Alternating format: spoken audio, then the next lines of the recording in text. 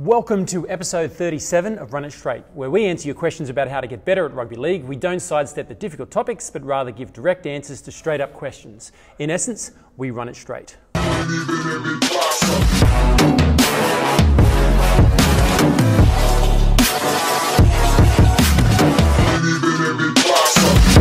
Joining me today on episode 37 is going to be Coach Cal, who has been in the program for a while as a, uh, a player and then as a coach. Um, just give us a quick rundown of sort of your journey, if you will. Yeah, sweet. So, um, the way I came into the program, it was 2017. I'd recently got cut from Harold Matthews at Balmain. I had to get myself bigger, had to get myself stronger, had to get myself physically ready um, for the next season of SG Ball to get my best foot forward. Um, Joe and the team here really helped me out get to that point of playing SG Ball a year young and then eventually my own age. Um, working my way through the ranks, I then eventually became a coach here, and that was about 2019. And then, last couple of years, you've been at the Roosters Cup squad. Yes, been at the Roosters New South Wales Cup uh, in 2022 and uh, 2023.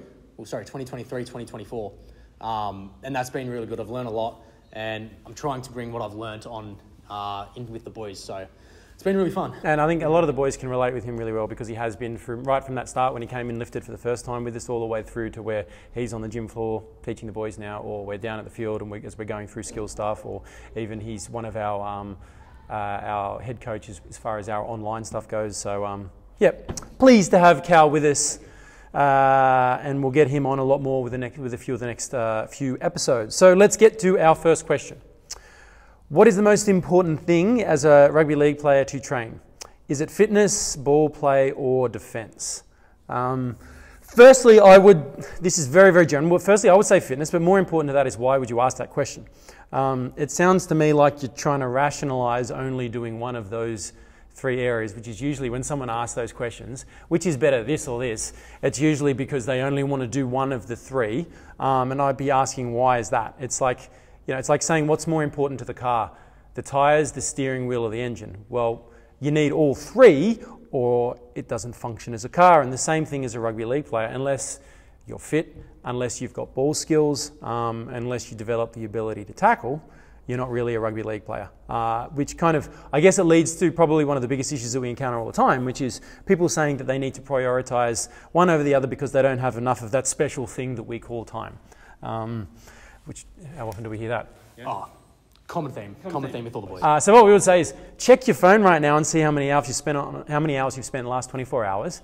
Um, over the last day, over the last 10 days, because if you look, most people have iPhones and it's usually got the one day option and then the 10 day option. Um, if you're spending more than two hours every day looking at, the fo- uh, at your phone, then you have time. Stop wasting your life staring at the damn screen consuming other influences and other people's content and do something yourself. If you're spending more than two hours on your phone, you're wasting your life. Simple. Anything more that you want to. Well, I'll even say this. We've got people that are spending eight hours. If you're spending eight hours on your phone, you're a complete loser and you're going to live a loser life. Choose to not be a loser like so many other people. Don't get addicted to it. Get off your phone and do something. Cal? Yep. Oh, well, hit the nail on the head. Um, as Joe said, if you're trying to pick one out of the three to really train, um, you're kind of trying to take a shortcut.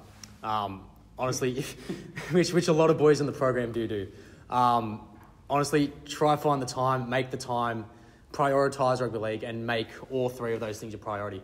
Fitness will trump everything. Fitness will make your ball work better. It'll make your defense better. That's why I said that. And look, that's why. Like, let's say that you were doing an adequate amount of all of those three areas, and there was like one to put a little bit more time on. Uh, we would say test your fitness, go and run a Bronco and see where you're sitting. And if it's no good, then I would work on fitness because if your fitness is better, your skills more likely to be on point. Um, and defense, uh, uh, how did he phrase? Um, um, oh, he just said defense. Yeah. So defense, your technique is a skill. So it's a skill that you need to develop, but it's a skill that will be better when you are fresher, and you'll be fresher when you're fitter. Um, uh, fitness, obviously, if you're fitter, you're fitter, so it makes that side of things easier. Ball play, again, is a skill which is going to be easier if you're fitter. You can make better decisions on the field. So it's not just about tackle tech, it's about getting your body in the right position, pushing across if you need to, covering your inside man, all of those kinds of things. You're going to be able to do that a lot better if you're fitter. Exactly, exactly. Um, yeah. Anything else? Nah, so just train all of them together. Train all of them together. Don't look for the, um, the easy way out. Next question What do development clubs look for in a player? Um, well, the number one thing, which is a big thing, is height.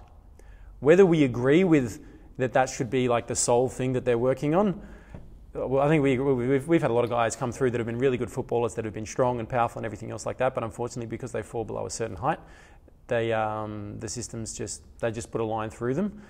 We're not saying that we agree with that, but we're saying that that is a thing. Okay, but when they're looking for what they're looking for, they're looking for size. They're looking for strength and power. They're looking for speed. They're looking for X factor, effort on effort. They want to see punishing defense. They want to see footwork, you know, uh, hyper aggression that's used in a controlled manner. Every team needs to have a couple of guys that are enforcers that, you know, the other players are scared of. Those are the things that if you're at a, um, if you've got selectors or if you're at a rep trial, that's what they're looking for. So ideally, you're hoping you have one, if not more, of those things. Now, having one of those things isn't necessarily enough to make it. Um, some other things that can help you are basically your attitude, your work rate, your work off the ball, those kinds of things. You want to be adding that to one of those other components. But attitude, work rate, work off the ball, you're not going to make a rep side if that's all you have. No? No, that's, that's, that's it. Yeah, you've got to have one of those other things um, to be able to stand out. And look, you know, if, if you're in a trial, bleach your hair, wear brightly coloured boots. Believe it or not, those things do make a difference because then you're like, you stand out. The selectors, oh, do you see the kid with the pink boots or the, the one with the orange hair or whatever it happens to be? Um, um, that's all the physical qualities. I'd like to throw in there if I can. Um, one thing a lot of coaches look for, especially in development squads, Harold Matthews and stuff like that, is being able and having a willingness to learn and being a coachable player a lot of coaches they hate know-it-alls. They hate thinking a player knows it all because it undermines the coach. So if you're getting selected at the whether it's development, Jersey Flegg, Harold Matthews, SG Ball, any of the levels, you want to make sure that you are coachable. You know, the last thing a coach wants is an, in, in a team is a know-it-all. Um, so that's probably the biggest thing that I've found outside of the physical qualities yep, yep. Um, is having the right attitude and being willing to learn. You put it. Let's say that, that that the two of us are competing for the same spot. You know, I'm in a particular side and we've got some, a few. We've both got a few of those X factor things. But if Cal's got the really good attitude, you know, he's rocking up early. He's one of the last to leave. It's yes sir, no sir. He asks questions, he listens, and then you've got me, and I'm being disruptive and everything else. And you know, so I sort of walk around as though I own the joint. The coach is going to pick him nine out of ten times. So. 100% though, and that is completely within your control. Obviously, how tall you are is not within your control. Um, but uh, yeah, I think we covered that one pretty well. All right, moving on to the next question. Is it worth putting 100% effort into footy? What would I do if I don't make it? Uh, yes, it is worth it. If you don't make it, you can go on and you can crush life. Here at, at League Fit Academy, our focus is on helping young rugby league players realise their potential. And it's not just about it's not just about making someone bigger, stronger, faster, and more skillful. Do we do those things? Absolutely, and we do them better than anyone else. That includes the rep systems. But what's more important than building the body is building character. Why? Because you can have all the talent in the world, um, but none of it matters without the character to back it up. Because you know, at the end of the day, character is not something that you're born with. You don't inherit it from your parents. Money can't buy it, and no amount of coaches, managers, or knowing the right people is going to make up for a lack of it. Character is building the qualities of hard work and discipline that's going to set you up for life outside of footy. So when the going gets tough in life, which it will for everyone at some point, you're able to handle it.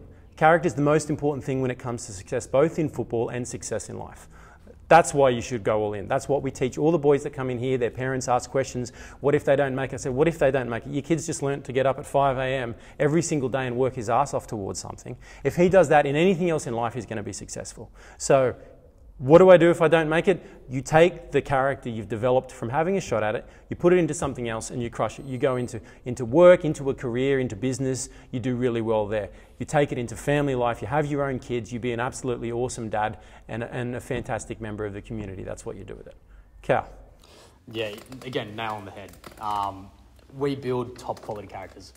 We you know, instill discipline into them, accountability, responsibility all these factors that you can get while playing rugby league if you have the time of your life, if you're giving it 100% of your effort. If you don't make it, you don't make it. You're not going to waste those years of what you've done in rugby league. No, it, it's, it, it, that's the whole point in, in footy and in sport is to develop character during those younger years, to, to learn how to win, to learn how to lose, to put work towards an effort, and sometimes it pays off and sometimes it doesn't. And it is probably the number one thing that we hear back from parents to us. And this is the thing that really is really rewarding, you know. And you think about it when it's in the middle of the winter and I'm going out to watch the boys and it's raining and it's cold. But then after the game, when their parents, or during the game, the parents come up and say, Joe, I can't, I can't thank you enough. The difference in my son, the way he speaks to us, that his, his, his approach at school is different, his life at home, the way he's even with his siblings is different. Um, we can't say thank you enough to League Fit. That's the whole point why you have a, a, crack at, at footy and you try and do everything in life you should try and do as well as you can be. We said it before um, earlier on by spending eight hours on your phone, you're a loser. If you're spending four, five, six, seven, eight hours pursuing something like this, you're the opposite of that. And that's what we would encourage. Exactly. Yeah, so that's 100% right. Have a crack at it. All right, please.